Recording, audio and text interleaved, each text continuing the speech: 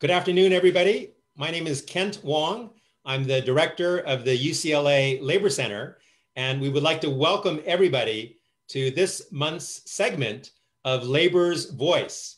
This is a monthly broadcast of the Los Angeles County Federation of Labor and the UCLA Labor Center that brings critical information to union members and friends and community activists in the greater Los Angeles area, but it is also streamed in other places throughout the country. And uh, we are very excited today to be joined by my good friend, Mary Kay Henry, the president of the Service Employees International Union. We will also be joined later in the program with April Verrett, the president of the um, Service Employees International Union, Local 2015, one of the largest unions in the country, representing over 300,000 home care workers in the state of California. And finally, we will be joined by uh, my good friend Ron Herrera, the president of the Los Angeles County Federation of Labor, who this very week had the honor of being one of the electoral college delegates representing the state of California that put uh, Joe Biden uh, over the top and became uh, our uh, president elect. Uh, and so this is a historic week to be having a conversation with these three extraordinary labor leaders on what should labor do now. Uh, we've come off a historic election. There were more votes cast in the November 3rd, 2020 election than any other election in US history. And we are so excited that the nightmare known as the Trump administration is finally coming to an end, that the policies of racism, white supremacy, anti union, anti worker, sexism, misogyny, and uh, anti immigrant hysteria will finally come to an end on January 20th, 2021. And we will be ushering in a new administration led by Joe Biden and our very own Kamala Harris, uh, the former senator from the state of California. And so, uh, to start off today's program, I wanted to give a warm welcome to uh, President of SEIU, Mary Kay Henry, and to ask her specifically about some of the important roles that SEIU played nationally in mobilizing and in organizing the vote to ensure victory on November 3rd, 2020. So, welcome, Mary Kay Henry, to Labor's Voice. Thank you so much. And thanks to the UCLA Labor Center, Kent, and your leadership, and Ron Herrera from the LA Fed. Together, we're going to bring bold transformational change uh, to the essential workers on the front lines of this pandemic and to every community who showed up in record numbers. Thank you so much. Thank you. And I wanted I to say- start by asking about the election itself, because yes. as you know, during the pandemic, this was a, a, a huge challenge for SEIU and other unions around the country that traditionally have relied on door to door, mass rallies, mass mobilizations. And a lot of those um, methods of mobilizing the vote were not available in this election cycle. So, how did SEIU overcome this challenge and what did SEIU do to successfully turn out the vote? Well, one thing that made a huge difference, Kent, is we never left the voters that we turned out in 18 in massive numbers in key battleground states in Wisconsin, Michigan, Pennsylvania, Nevada, Colorado, Florida. And we stayed engaged in those communities through all of the issue fights that people elected folks to office in in 2018. So we were door knocking for the presidential beginning in September of 19 and had been in the uh, communities where we were trying to uh, focus on and empower 6 million voters in communities of color who are infrequent in how they show up to vote because people don't speak to their issues and lives and because of the intensifying voter suppression that's occurred. So, one big difference was we had been door knocking September, October, November, December, January, and came off the doors in February, had relationships with voters that we could then turn into our, our remote um, communications. So, we did Zooms with volunteer precinct leaders and help them think about texting and phoning of their family, friends, and neighbors. Two, we did a lot more worksite activity in the key places where we were trying to turn out the record vote. And three, our members got much better than they've ever been in using technology to communicate. So all of our retirees were trained on something we call purple text and they engaged hundreds of thousands of voters in the battlegrounds um, over the course of January to November. And um, initially were taught by their children and grandchildren how to use it, and then became teachers of other seniors who were scared of using texting instead of phoning. Um, but we had Oregon members show up in record numbers to help Michigan voters do early vote by mail uh, registration through their own experience and then would talk to the same voter four or five times. Did you get your um, application? Did you fill it out? Um, have you mailed it back in? Um, let me help you do it online. I'll send you the link right now and I'll walk you through it together. Uh, was the depth of the engagement we had. And then we're staying connected to these voters now as we battle with the Republican Senate on getting COVID relief uh, this week. And then we'll stay engaged through a campaign that's called Respect Us, Protect Us, Pay Us, that will unite our fights as we demand government and corporations to do the right thing uh, by the people that are suffering the most from COVID, the economic collapse, the racial reckoning, and the climate crisis. Those lessons are so critical, Mary Kay, because SEIU uh, has uh, by far one of the most powerful organizing um, mobilization programs in the country. And it's been reflected in the steady growth of your membership over the years.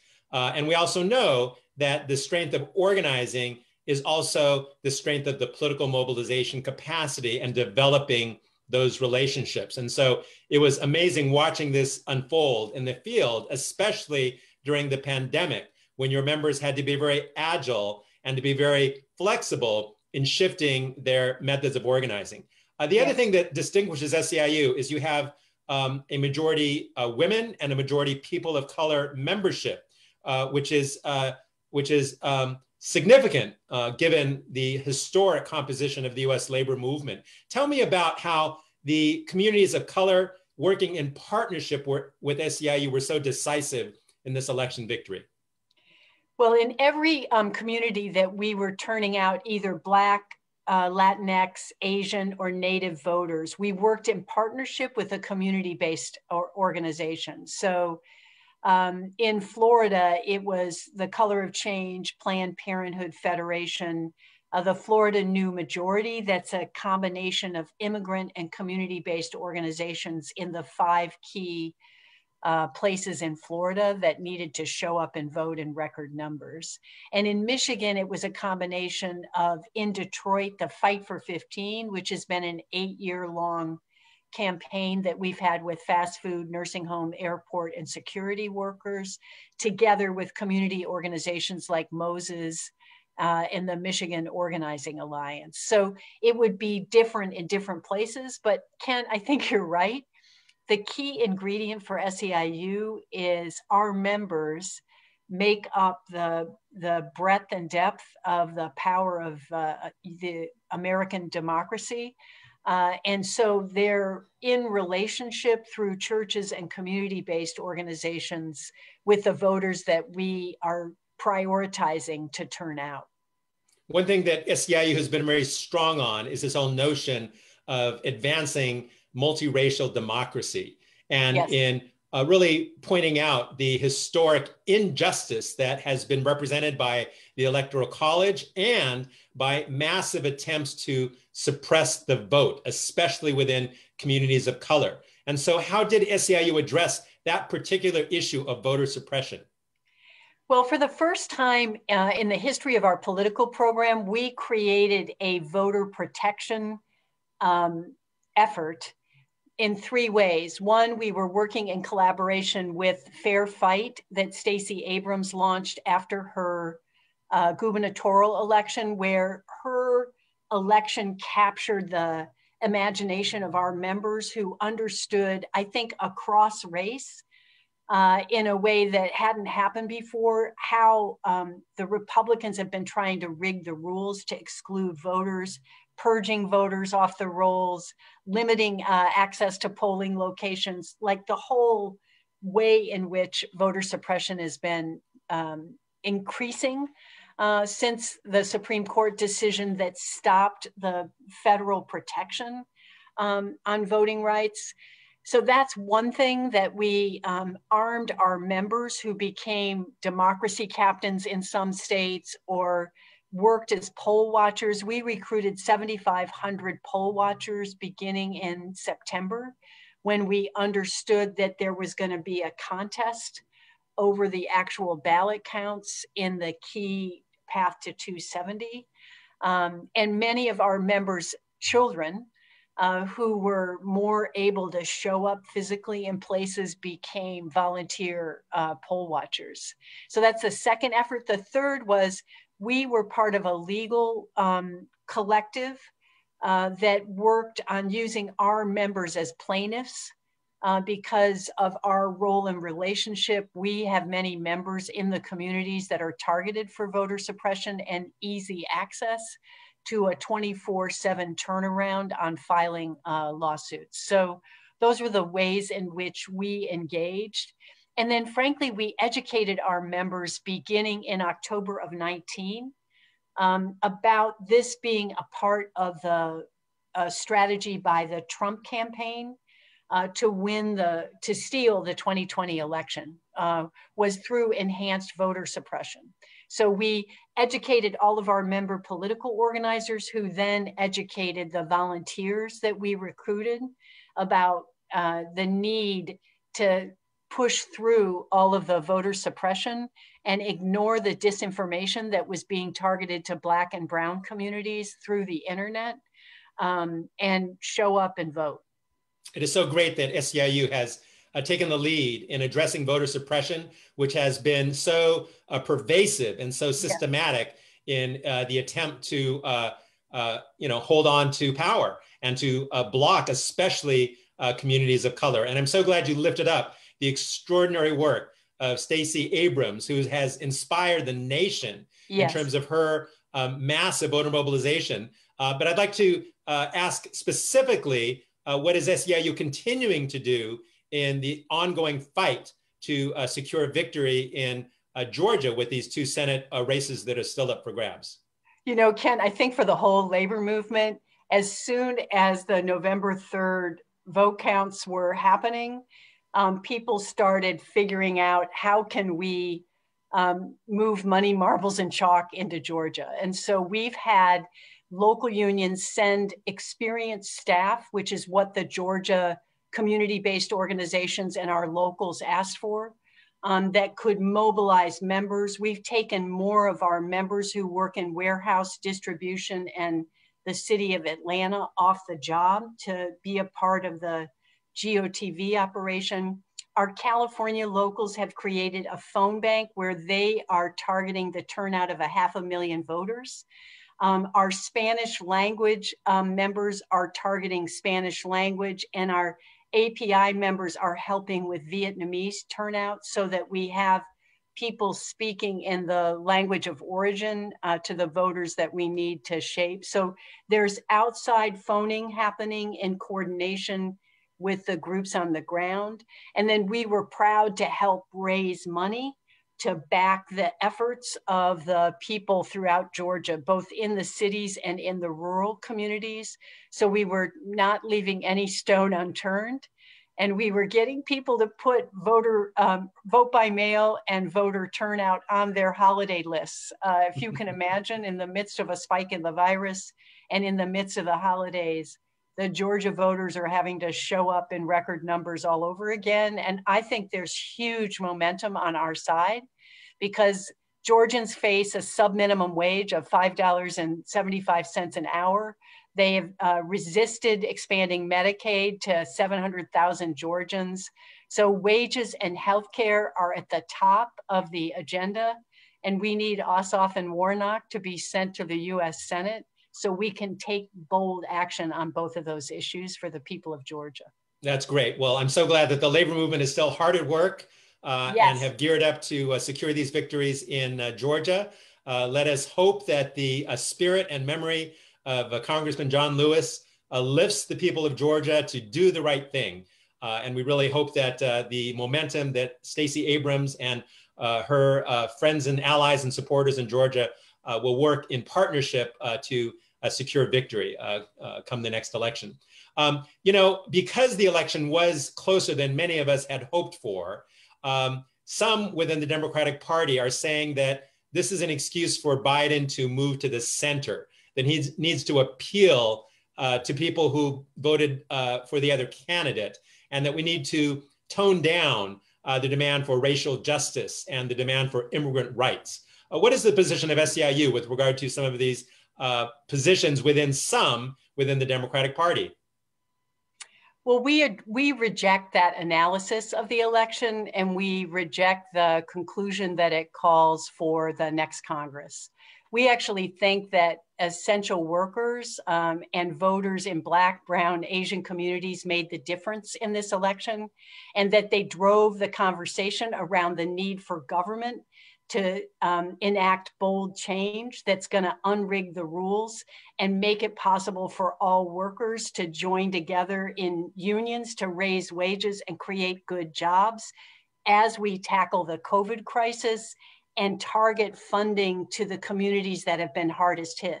Black communities, Native communities, Latinx communities, and Asian uh, communities. So we think that the record turnout that you started this with um, has to get acknowledged as changing the game in the midst of multiple crises and a racial reckoning that our government needs to answer the demands of Black communities and all of us that support that racial reckoning across race.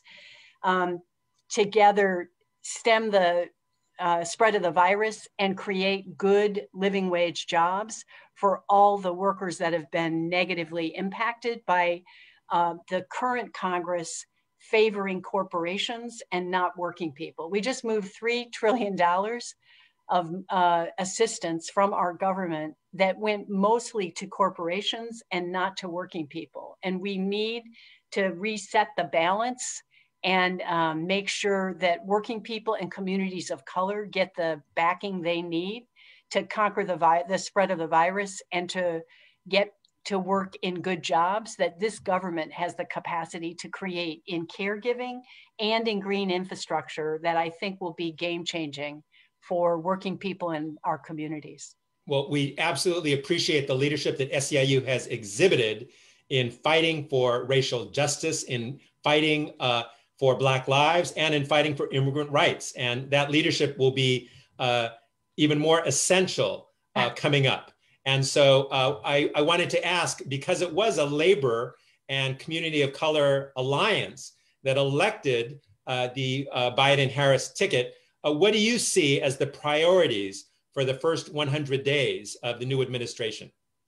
Well, there has to be a massive government investment in um, tackling the virus, but that massive investment in our minds has to be combined with restructuring the economy and writing in Black and Brown women who have done work that's been excluded since the founding of our nation, and that's caregiving. And we think when Black and Brown and immigrant women who showed up in record numbers to create this transformation in our government can get invested in, uh, they will be armed to make sure that they can um, care for elders and children safely um, as we tackle the virus as a nation. That's just one example, uh, Kent, of the, the priority. It's, it's an orientation that our government needs to adopt as uh, we do the COVID relief package. We think the relief package ought to be combined with recovery that creates structural reform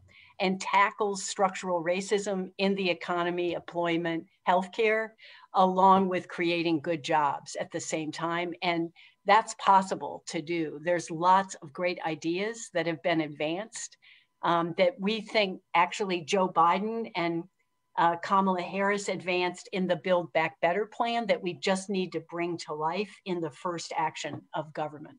That's great. And Joe Biden has already gone on record saying he wants to be the most pro-labor president since FDR. That's so, right. Uh, let's make sure that uh, he lives up to that promise. Uh, yes. You know, SEIU, as the union that represents more healthcare workers than uh, any other union in the country, uh, is at a critical place in terms of not only advocating for um, healthcare for all, but also to, in the midst of this pandemic, to demand uh, you know, health and safety standards for healthcare workers. And so, uh, what is SEIU doing on these fronts, both in terms of healthcare reform as well as protecting the safety of healthcare workers?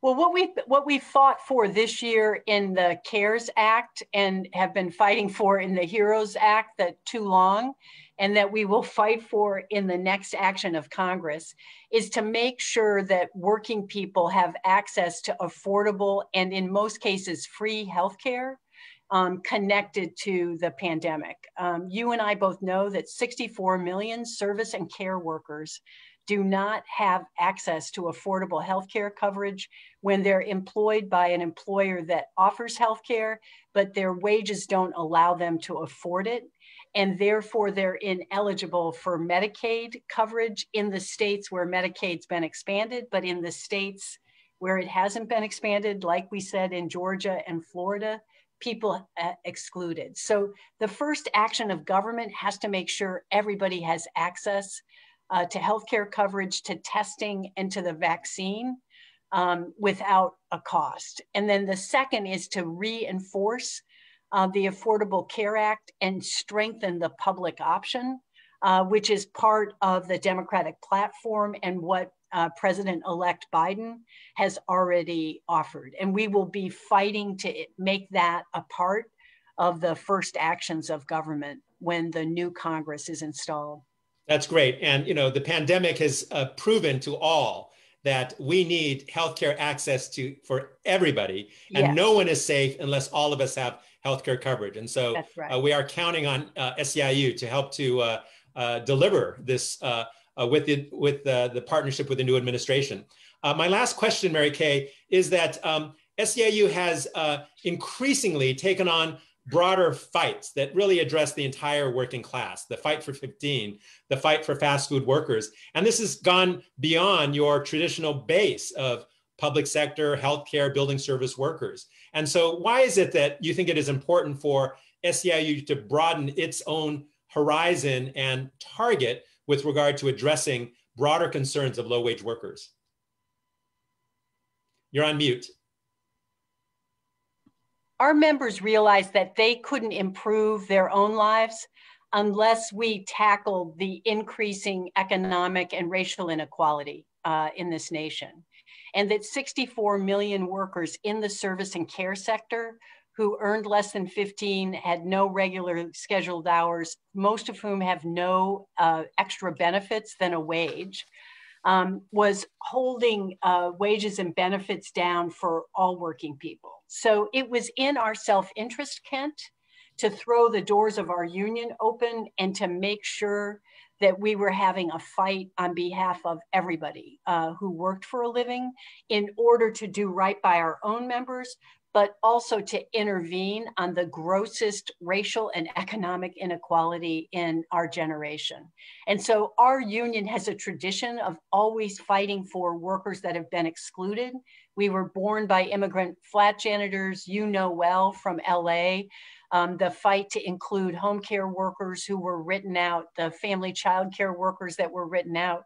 We want to write in workers that have been excluded based on race and gender uh, into the fullness of the economy. Because if we can't raise wages and create good jobs in the service economy, everybody in America um, is not going to do better. So we have to raise the wages and create good jobs in the in the poverty wage sector of the economy if all working people are going to do better unionized members and non-union across transportation communication tech all of it. So for us it was a theory of about power. How do our own members get more power?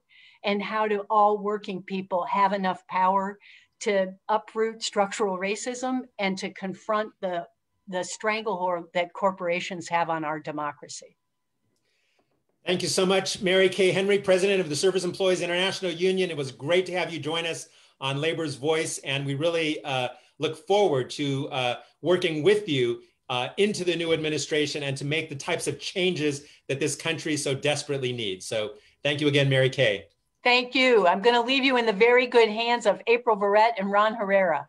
Thank you. Thank you. Yes, our next speaker is um, the president of the Service Employees International Union, Local 2015, uh, representing over 300,000 uh, long-term care and home care workers in the state of California. Welcome, April Verrett. And the first question to you is as one of the uh, unions representing uh, one of the most diverse workforces, including uh, more women and people of color who represent uh, the um, large majority of your membership, uh, why is it important for uh, SEIU 2015 to not only be a non-racist union, but as you have said, to be an anti-racist union? Thanks, Kent. Let me first say hello to you and to Ron, and thank you to everyone who put this together, and shout out to, to my good friend and leader, Mary Kay. Um, listen, at 2015, our members are very clear just as you heard Mary Kay talk about low wage workers dragging down the standards for all other workers in this country, the same exists for um, workers relates to racism.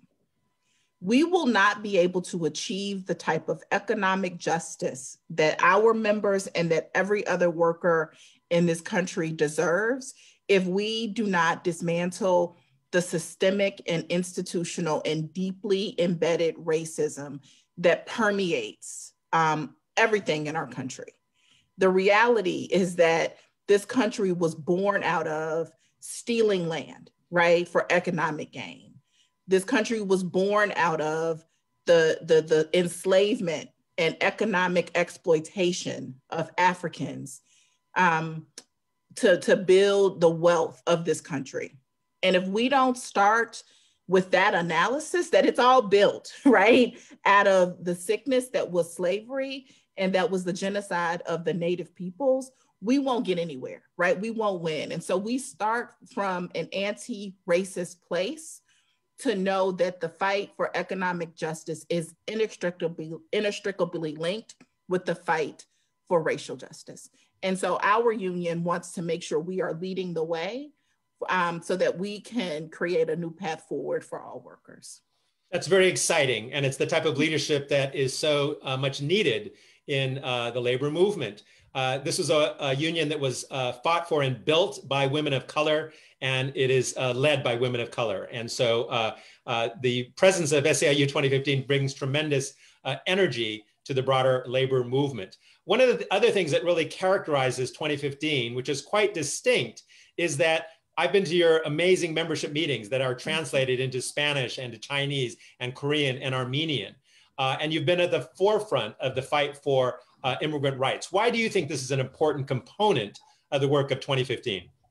We believe that that the union movement needs to embrace people as, their as as their whole selves, right? We all come to the union from different backgrounds, from different countries, speaking different languages, having different cultures. And to really, um, and we believe that we have to center our members, their, their development, center their power. And you have to be able to embrace um, someone as their whole self. And that means allowing them to communicate in the way that they are most comfortable. And so we make sure we lower the barrier for participation in our union in a way that makes people hopefully makes our members feel comfortable, right? That they can bring all of their talents, all of their cultures into our union, which helps us build our powerful, right? Our we are fond of saying our power comes from our diversity. And so what may seem chaotic to some with all of our translators and interpreters and all of the languages is just how we roll at 2015. That's great. And I wish more unions would uh, build off that model and truly embrace uh, the large and growing immigrant workforce that is increasingly uh, a critical part of the US uh, working class. Um, you know, in the midst of this pandemic, 40% of the fatalities uh, have mm-hmm. been uh, uh, patients in uh, long-term care facilities. And uh, as a union that represents uh, home care workers and long-term care workers, what is the union doing about this huge challenge with regard to the health and safety concerns of not only your members, but healthcare workers generally? Yeah. Can we represent about 25,000 nursing home workers here in California? And since the very beginning of this pandemic, um, even before many folks here in, in our country and in the state knew what COVID was, our members knew something was wrong, right? And they knew that they didn't have that access to the N95 masks that they needed. They knew that surgical gowns were being rationed. And so, since the very beginning, we have worked to hold employers accountable to meet the basic, the basic safety needs, right, of our members. Adequate medical grade PPE for all workers and facilities. The proper training and protocols that, that you need to be able to to, to do your work, right? You, there's no social distancing for nursing home workers. This is up close and personal work. You got to lay your hands on people. So, how can you do that and protect yourself and also protect that resident? So the what's the proper training protocols that need to be in place?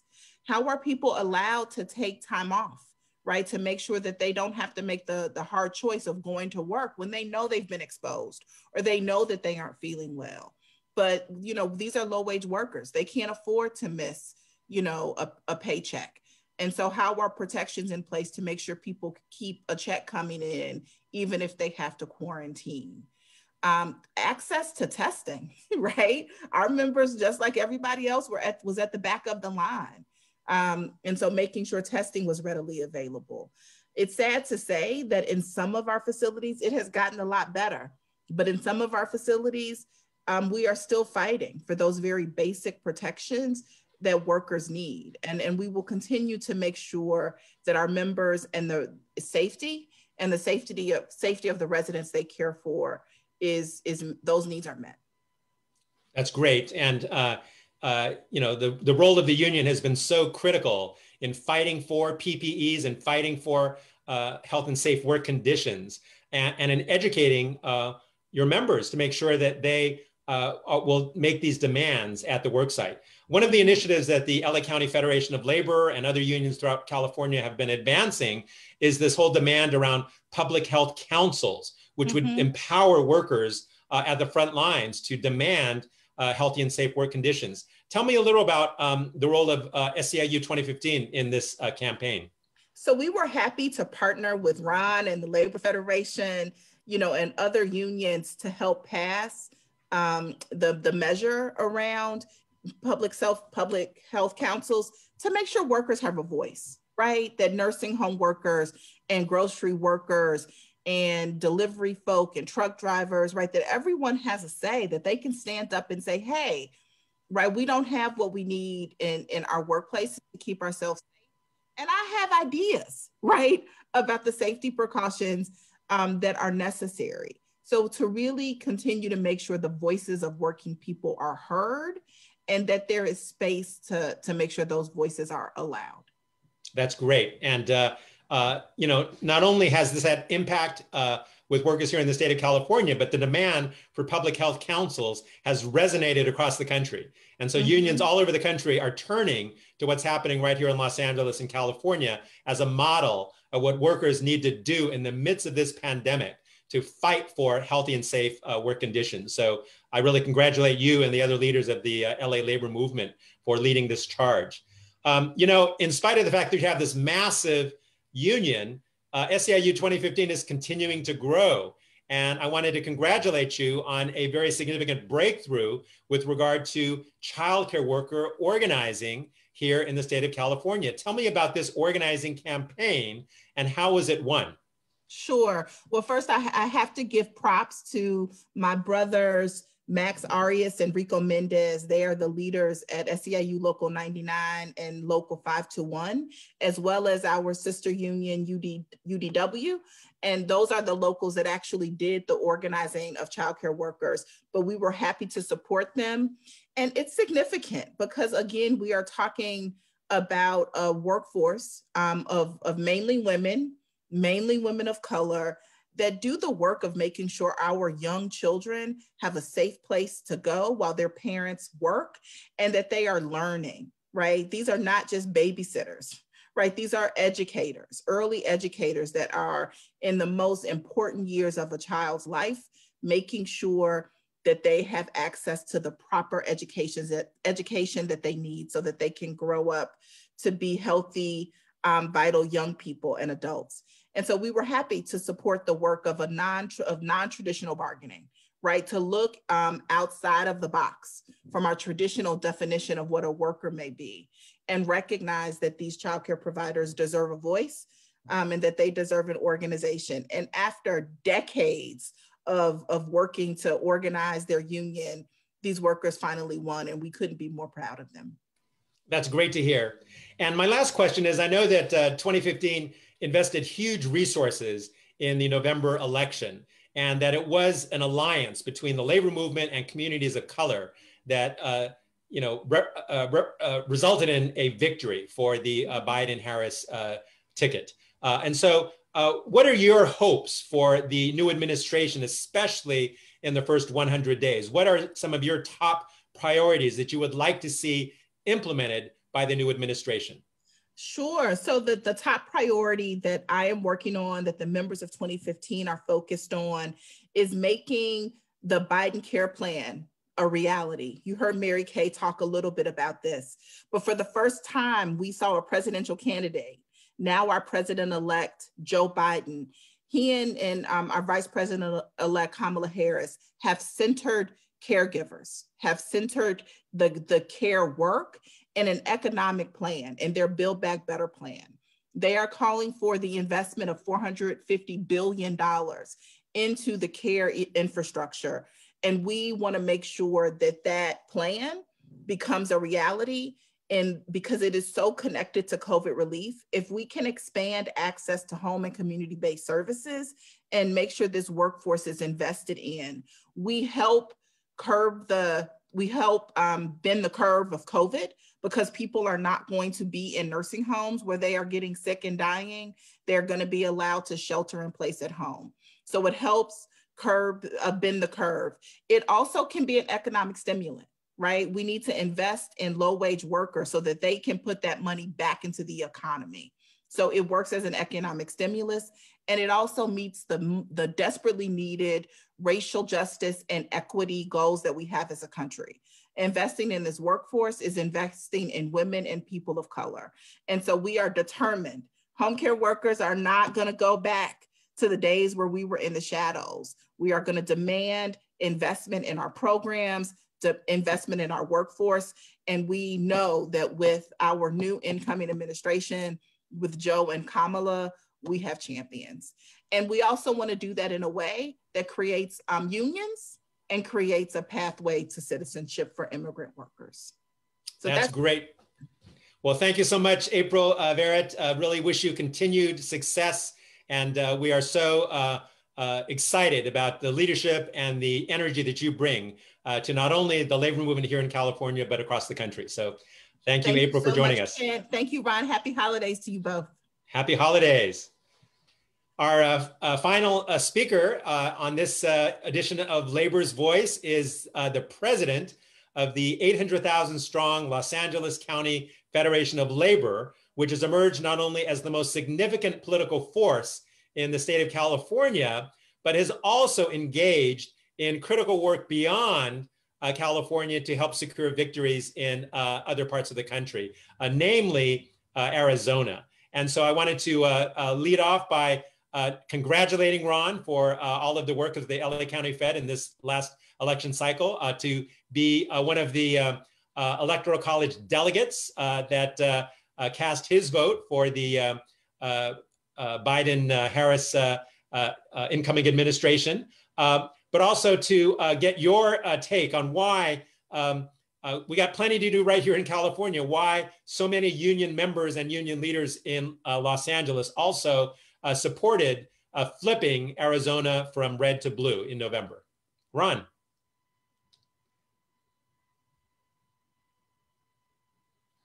You're on mute.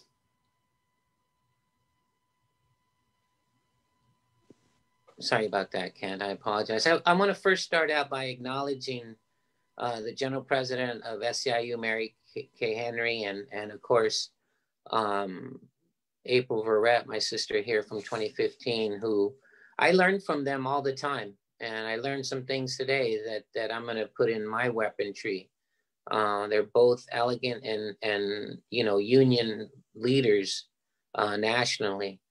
Uh, but with that said, you know this was a partnership. Kent, you know a lot of experts, a lot of uh, you know the political analysts said that uh, California was really insignificant in the election because it was it's blue. Uh, but with that said, there's a reason for that and um, the labor movement, right, look like uh, um, the country. We are, if you uprooted us here in Los Angeles and, and put us in Arizona, put us in, in Philadelphia, uh, put us in Georgia, we could assimilate just by looks. So uh, union members understand union members. And one of the things that we wanted to show our significance and our power is to go out and you know engage in these states. Uh, Arizona is key. Obviously, you saw at the at uh, during the count uh, that uh, uh, a lot of their a lot of the the end result um, depended on certain states. Arizona being one of them. Uh, so the way the map is in the country, Arizona is pivotal now. We have to carry Arizona. We have to, you know, progressives in Arizona have to uplift. Latinos in Arizona have to GOTV. Um, like California, like Los Angeles, uh, we have to demand respect. We have to demand social uh, justice. We have to demand labor rights. And my family comes from Arizona. I personally know the racial uh, injustice that that you know happened to my family, you know, in particular, uh, in the mines of of uh, Clifton and Morenci, Arizona.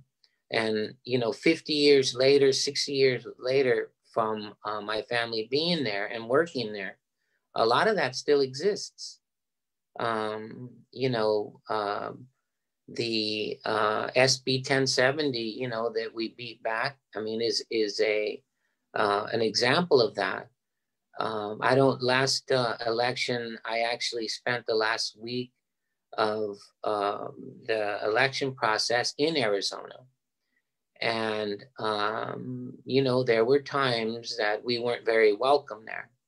So to see uh, the unions uh, work so hard, SEIU, especially Unite Here, Local 11, who had a, an entire operation there, uh, the Teamsters, UFCW, just a whole array of unions working, you know, in conjunction with the Arizona uh, AFL was, um, you know, uh, a pleasure to me because uh, this has been a, a you know, an organizing attempt for many, many years. And we finally got over the hump, but it took a lot of work. It took a big partnership, egos aside. Um, union members uh, in Arizona really, you know, uh, came out to the forefront and uh, were really the motivators behind that that uh, state, you know, being flipped I believe there was 250 conversations just in one operation that uh, SEIU and um, um, Unite Here uh, uh, built.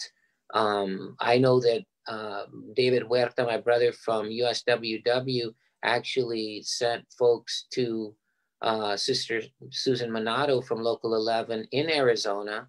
Uh, I had I visited Arizona uh, with you know multiple operations, but it just took a team, and um, never count California unions out. Never count the LA County Federation out, uh, because we did work in Pennsylvania, in Arizona, and in Georgia and those were the key areas uh, that got uh, our candidates, you know, Joe Biden and Kamala Harris elected. So I'm very, very proud of that.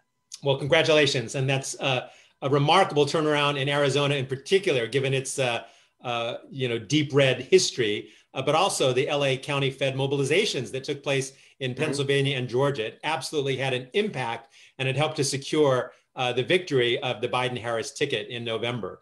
Um, I wanted to, uh, uh, you know, uh, focus a little on the California races because, uh, as you know, although uh, California went resoundingly for um, the Biden-Harris ticket, um, there were critical ballot initiatives that labor was uh, backing that um, that failed, not, namely the Schools and Communities First Prop 15, Affirmative Action Prop 16, and the uh, gig workers, uh, Prop 22. So, what are your thoughts about this in terms of uh, this um, mixed results uh, that that uh, that came through the November elections?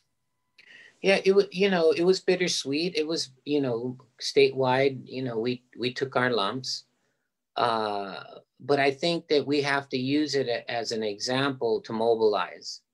Uh, we have to use uh, modern day technology, uh, understand the modern day voter, uh, but create a foundation of you know, old school organizing and mobilization. But what you saw, uh, Kent, was patented corporate greed. You know, a quarter of a million dollars spent on one proposition. Uh, Prop 22, how do, how do you compete, you know, with a quarter of a million dollars being spent on, on one proposition? Uh, I think that, that we have to, as a union, uh, we have to build uh, union density as far as education, right? We, we need to, you know, the modern day, the, the current union member has to understand uh, the importance of a union voting block. And we can still defeat that quarter of a million dollars. I, I truly believe that. Uh, but we got a lot of work ahead of us. Um, on Prop 16, um, very disappointed. I'm a product of affirmative action. I'm not where I'm at, you know, had it not been a, you know, as a result of that, you know, back uh, in uh, the mid 70s and early 80s, it, it's, uh, it's, it's sad that that that didn't, you know, pass. But again, you know, uh, the responsibility lies on our shoulders. You know, are we just gonna accept it?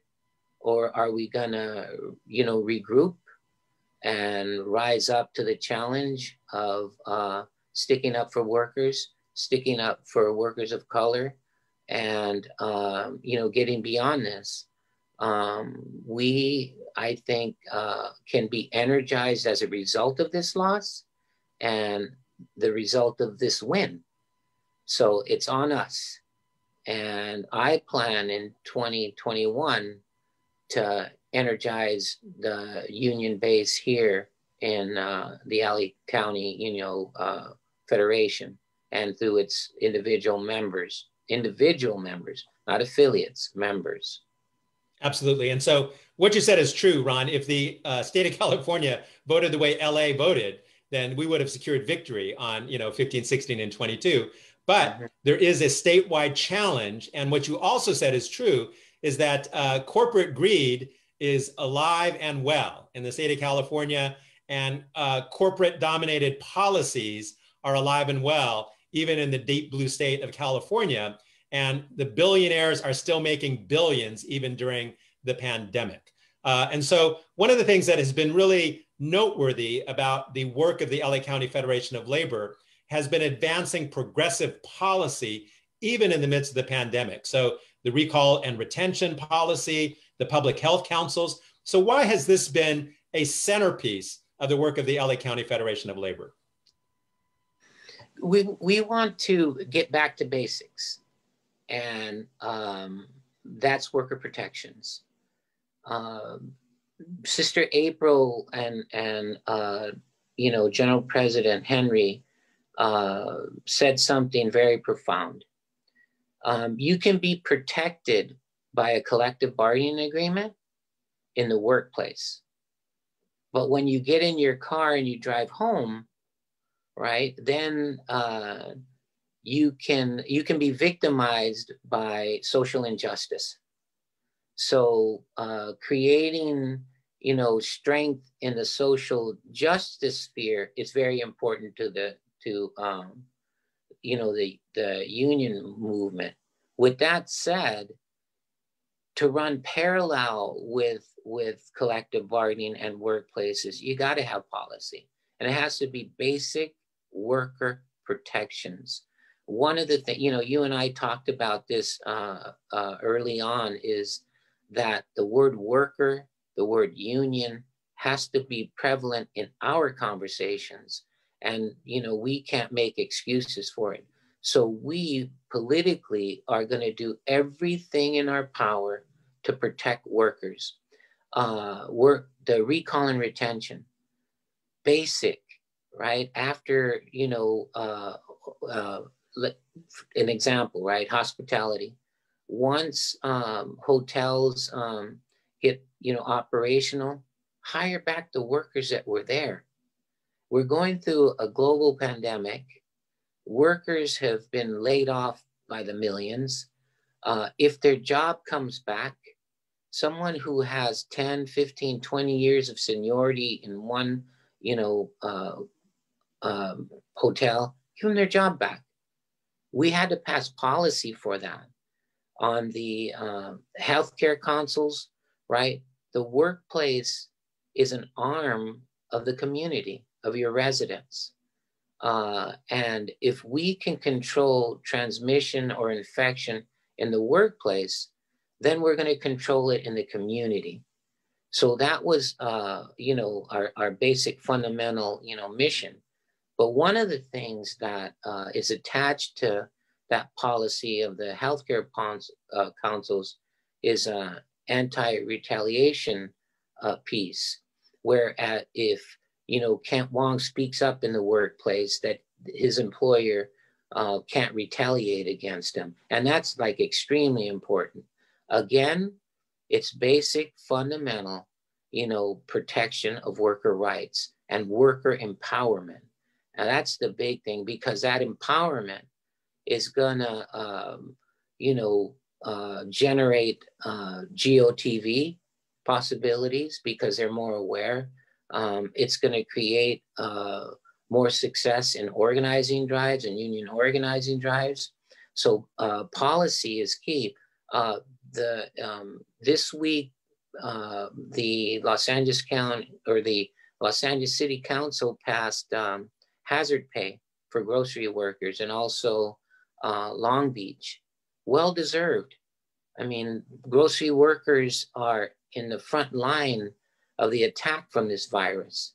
So shame on those corporations that don't value their employees enough to uh, help them secure, you know, a life uh, during COVID that makes it a little better for them, you know, at home uh, with their with their with their family budgets.